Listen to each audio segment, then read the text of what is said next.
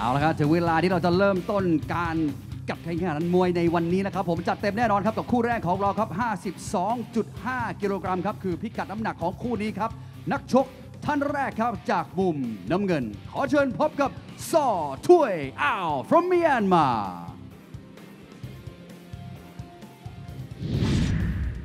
สวัสดีครับ ช่อง8 King of Fighting Sport นะครับนำท่านผู้ชมเข้าสู่การถ่ายทอดสด มวย Hardcore มวยพันธุ์ดุเสาร์ที่11ธันวาคมครับ คู่แรกครับ ไม่ต้องพูดพร่ำทำเพลงมากครับ 52.5 กิโลกรัมครับ กระโดดขึ้นเวทีมาแล้วครับ ซอ ท้วยอ่าวจากเมียนมา เขาบอกว่าเข่าดุครับ เดี๋ยวมาพิสูจน์กัน ไปพบกับคุณแมทธิวครับ และนักชกมุมแดงครับ จากประเทศไทย นี่คือเพชรด้ามขวานท.พราน 47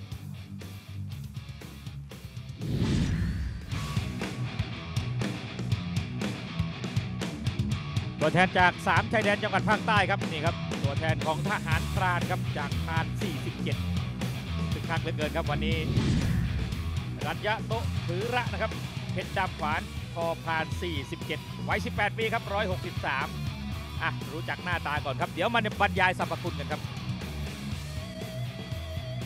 และในคู่นี้ครับ 52.5 กิโลกรัมครับ นักชกจากมุมน้ำเงินครับ อายุ 27 ปี สูง 160 เซนติเมตร นักชกคนนี้ชกมาแล้ว 36 ไฟชนะ 21 และเสมอ 2 Please put your hands together for Sa Tui Ao from Myanmar และนักชกจากมุมแดงครับ อายุ 18 ปี สูง 163เซนติเมตรเซนติเมตรครับ จากยะลาประเทศไทยครับ นักชกคนนี้ชกมาแล้ว 24 ไฟชนะ 16 ขอเสียงประมือให้เพชรดามขวานทอพราน 47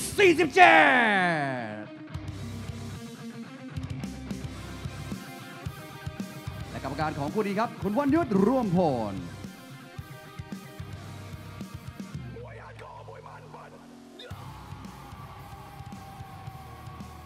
ชกกันให้เต็มที่มีน้ำใจเป็นนักกีฬาไม่เอาเปรียบคู่ต่อสู้ ไม่ทำฟาวโชคดีทั้งคู่เข้ามุม อาครับเปิดหัวคู่แรกพร้อมเรียบร้อยแล้วครับเทียบสัดส่วนอีกครั้งหนึ่งครับ 18 กับ 27 ครับ 163 กับ 160 นาทีของวันยุทธรวมพลนะครับบนสังเวียน เมื่อสักครู่นั้นท่านผู้บังคับการหน่วยเฉพาะกิจกรมทหารพราน 47 คนนี้แหละครับ พันเอกโกเมศรัตนพองใสครับผู้การโป่งครับขึ้นมาถอดบงคลให้กับทางด้านของเพชรดำขวานทอพราน 16 มีเขียวสดสอนวรัตครับหรือว่าเขียวสดราชานนท์ครับเป็นผู้ฝึกสอนครับ ตอนนี้เป็น 10 โทขจรเกียรติพรหมจันทร์แล้วนะครับ นี่ครับ อย่างที่ผมเรียนไว้สม่ำเสมอว่ามวยไทยไม่ใช่เพียงเกมการพนันอย่างเดียวครับ ต่อยอดเป็นนายทหารได้ครับคุณมารุตครับเอาละครับมาชมกันครับยกแรกครับคู่นี้ครับเป็นตามฝานกาซอถ้วยอ่าวโอ้โหจะไม่ให้บรรยายสรรพคุณกันเลยหรืออย่างไรครับ นั่นแหละครับโอ้โหหนึ่งนับแล้วครับ นี่ครับพอพราน 47 ก็นู่นครับสามชายแดนจังหวัดภาคใต้เลยครับ หนึ่งนับแล้วครับ หน้าที่ของกรรมการนับไปก่อนครับวันยุทธรวมพล ยกเดียว 3 นับนี่จบข่าวหนึ่งนับหนึ่งแต้มเอาละครับมาอีกแล้วครับ พลังกำปั้นของเพชรดามขวาน เดินจ้วงเลยครับ นี่คือรั้วของชาติครับ คนที่เสียสละครับ ทางด้านกลุ่มทหารพราน ส่งเสริมมวยไทยด้วยแม่หมัดขวานี่หนักจริงๆครับ ตอนนี้ครับซอถ้วยอ่าวลงไปอีกแล้วครับ ดูจะไม่ไหวนับที่ใช่ไหมครับสองโอ้โห ชักดิ้นชักงอครับ โอ้หน้าตานี่เยเกไปเลยครับไหวหรือเปล่าอ้าวถ้าลุขึ้นมานี่ยอมยอมหัวใจครับเจ็ดแปดเก้าไม่ไหวครับ โอ้ทีเคโอยกแรกครับดูจริง ๆ ครับเพชรด้ามขวาน โอ้โหดูครับเบ่งกล้ามโชว์เลยครับ 52.5 กิโลกรัมครับ โอ้โห มาไวไปไวครับดูโพรงจมูกดูเบ้าตาครับดูอาการครับ แพทย์สนามจากถลางนี่ได้ทำงานแต่หัววันเลยครับ